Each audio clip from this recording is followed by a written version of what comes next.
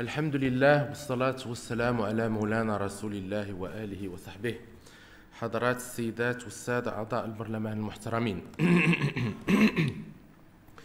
نستحضر بكل خشوع وإجلال اقتران افتتاحنا لهذه السنة التشريعية بتخليد الشعب المغربي في العاشر من رمضان المبارك لذكرى رحيل محرر الأمة جدنا المنعم جلالة الملك محمد الخامس فقد كان أكرم الله مثواه رائدا في إرساخ دعائم الديمقراطية من خلال إنجازات تاريخية وفي طليعتها إصداره سنة 1958 للعهد الملكي المتقدم للحريات العامة المكرس للتعدد الحزبية التي دسترها بعده بكل حكمة وبعد نظر والدنا المنعم جلالة الملك الحسن الثاني قدس الله روحه. وستكون مصادقتكم في مستهل هذه الدورة على قانون جديد للأحزاب الذي دعونا إلى وضعه خير تعبير عن الوفاء لذكراهما العطرة وأقوى تحفيز على جعل هذا التشريع المؤسس نقلة نوعية إلى ما نتوخاه لأحزابنا السياسية من دور أساسي في بناء المجتمع الديمقراطي التنموي. كما يتزامن إنعقاد هذه الدورة مع ظرفية محملة بمشاريع وإصلاحات هيكل هيكلية واعدة واستحقاقات ملزمة في شتى المجالات وأوراش تنموية مفتوحة في كل الجهات.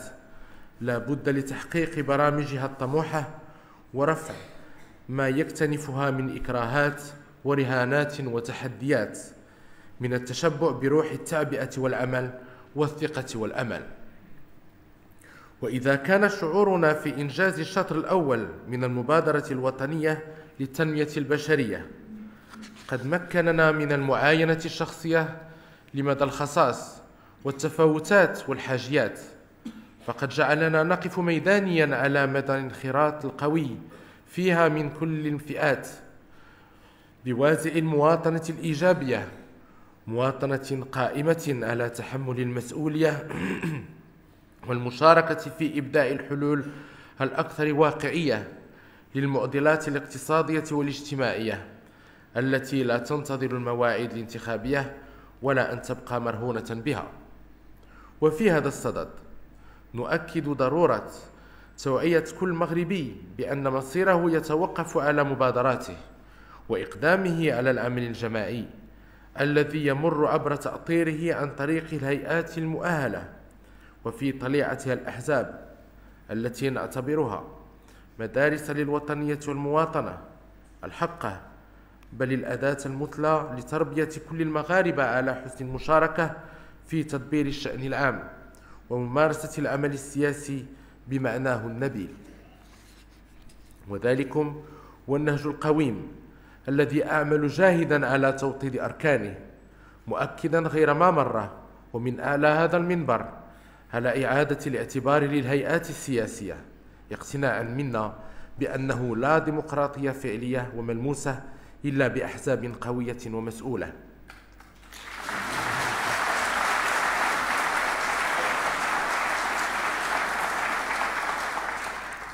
ومن ثم كان حرصنا على تقويتها من خلال توفير إطار قانوني متقدم. يكفل لها الديمقراطية في التأسيس والتنظيم والتسيير فضلا عن توفير الدعم المادي القار والشفاف الذي يأخذ بعين الاعتبار قدرتها على التأطير والتمثيل. وسيظل هدفنا الأسمى تمكين الأحزاب الوطنية من المناعة اللازمة وتحسين مشهدنا الحزبي والبلقنة المعيقة للنهوض بدورها الدستوري على الوجه المطلوب بيد أن هذا النص المؤسس سيبقى مهما تكن مصداقيته مجرد إطار تشريعي ما لم يبادر الفائلون السياسيون إلى إطفاء الدينامية الضرورية عليه. وذلك بحسن تفعيل مقتضياته واستلهام روحه بما يجعله انبثاقا لثقافة سياسية جديدة ترسخ الثقة في المنظمات الحزبية والمجالس المنتخبة.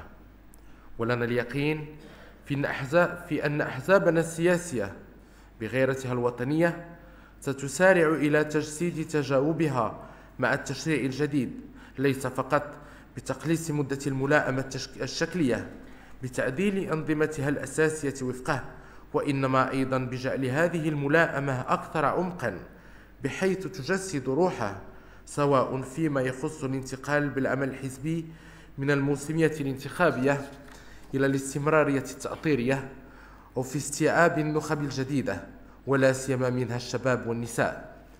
كما ندعوها لتكريس قصارى نشاطها الميداني لترسيخ روح المواطنة الفاعلة وتربية الأجيال الصاعدة على المشاركة الديمقراطية وتحصينها من مساوئ الفراغ السياسي وعواقبه الوخيمة. وبرغم أهميته فإننا نعتبر قانون الأحزاب ليس نهاية المطاف وإنما هو خطوة أولى أساسية في المسار الحيوي البناء ليس فقط لإعادة ترتيب بيتها لكسب استحقاقاتها الانتخابية المشروعة ولكن أيضا لتحقيق ما نتوخاه جميعا من انبثاق مشهد سياسي معقلا قائم على تحالفات قوية وأقطاب متمايزة لا بكثرة ألوانها ولكن بتنافسيتها حول مشاريع تنموية مضبوطة. وسيظل استكمال وتعزيز هذا التأهيل الحزبي في بعده التشريعي رهينا بنظام انتخابي ناجع وملائم. لذلك أصدرنا تعليماتنا للحكومة قصد العمل في إطار من التشاور الواسع والتوافق البناء على أن تكون مدونة الانتخابات معتمدة ومعروفة قبل سنة من موعد الاختراع بما يتيح وضوح الرؤية وتخليق المنافسة المتكافئة الكفيلة بخصوص بخوض انتخابات حرة وتعددية. وذلكم هو السبيل القويم لبلوغ ما نتطلع إليه من إفراز أغلبية حكومية منسجمة ومعارضة نيابية بناءة إن هذا التحديث التشريعي لقانوني الأحزاب والانتخابات. لن يعطي ثماره كاملة ما لم يقترن تأهيل سياسي أكثر شمولية وأضمن لترسيخ ثقة المواطن وتحفيزه على المشاركة في مؤسساته النيابية والحزبية والجمعوية. وفي هذا الإطار فإن المؤسسة البرلمانية مطالبة بالنهوض بدور مهم في هذا المسار الجاد. وذلك بإعطاء شحنة قوية لتنشيط العمل النيابي على جميع مستوياته تشريعا إصلاحيا ومراقبة مسؤولة وتأطيرا ميداني ودبلوماسية موازية مقدامة تستهدف جعل التطور الديمقراطي لبلادنا في خدمة الدفاع عن مغربية صحرائنا. وإننا لندعو كل الفاعلين إلى تعبئة جهودهم وتضافرها في مواجهة الحملات المغرضة المدبرة من قبل خصوم وحدتنا الترابية. وذلك بالتصدي القوي لها في كل المحافل لفتح الأساليب والمناورات الدنيئة. حضرات النائبات والنواب المحترمين. تجسيدا للمكانة التي نوليها لمؤسستكم الموقرة وحرصا منا على توسيع مجال الممارسة الديمقراطية بكيفية ملموسة. فقد قررنا أن يتولى البرلمان على غرار مدونة الأسرة البت في إصلاح التشريع المتعلق بالجنسية بالمنظور الشمولي للمواطنة المسؤولة والمتشبعة بالثوابت الوطنية المقدسة.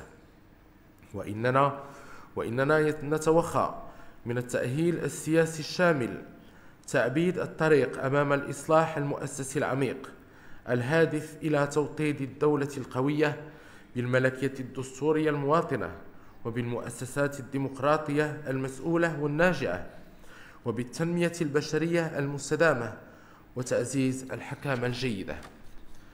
غير أن الإصلاح المؤسسي الذي نحرص عليه لا يجب أن يحجب عنا أنه سيظل بدون تنمية بشرية صوريا بل ونوعا من الطرف السياسي. بالنسبة للجماهير الشعبية التي تعتبر العمل من أجل توفير الحد الأدنى من العيش الكريم والرزق الحلال في ظل العفاف والكفاف شغلها الشاغل. ولأجل ذلك فإنه لا مناص لنا من الإسراء بالنمو الاقتصادي باعتباره انخراطا جدا وأملا دؤوب على إنتاج الثروات. بالمبادرة الحرة والاجتهاد بدل ترديده كشعار ينادي به الجميع ويحوله لنوع من المطالب النقابية التي يمكن تلبيتها بمجرد إصدار قرار.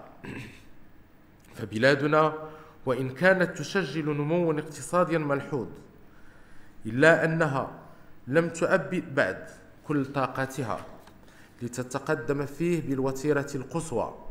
والسير الحثيث على قدمها معا. في توازن وتكامل بين التنمية والديمقراطية وبين ترشيد القطاع العام ونهوض القطاع الخاص بدور قاطرة النمو. إن المشكل ليس في أننا أمام معضلة صعبة وإنما في كوننا نضع كل عبئها على كاهل الدولة بمفردها دون إشراك الفاعلين الآخرين. ولوضع حد لهذا المشي المختل على قدم واحدة. فإنه يتعين على الجميع الإقدام على إيجاد حلول ناجعة لها في الوقت الملائم بقرارات جريئة وفعالة والتخطيط العقلاني والمحكم الذي هو ثمرة التربية الصالحة والتنشئة السياسية والاجتماعية التشاركية. ومن ثم كان تركيزنا على بناء ثقافة المواطنة الإيجابية بكل ما تعنيه من تحول إلى عقلية المواطن الفاعل المبادر والمشارك المنتج بدل السلبية والتواكلية والانتظارية.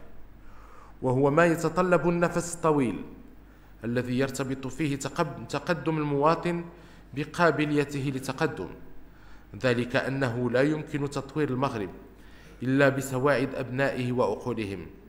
والسعي الحثيث في سبيل تغيير ما بأنفسهم كما أنه لا يمكن إصلاح البلاد بدون صلاح العباد. وإننا لنسأل الله سبحانه في هذه الأجواء الروحانية لشهر رمضان المبارك الذي أنزل فيه القرآن هدى للناس أن يجعلنا من الذين يستمعون القول فيتبعون أحسنه. أولئك الذين هداهم الله وأولئك هم أولو الألباب. صدق الله العظيم. والسلام عليكم ورحمة الله تعالى وبركاته.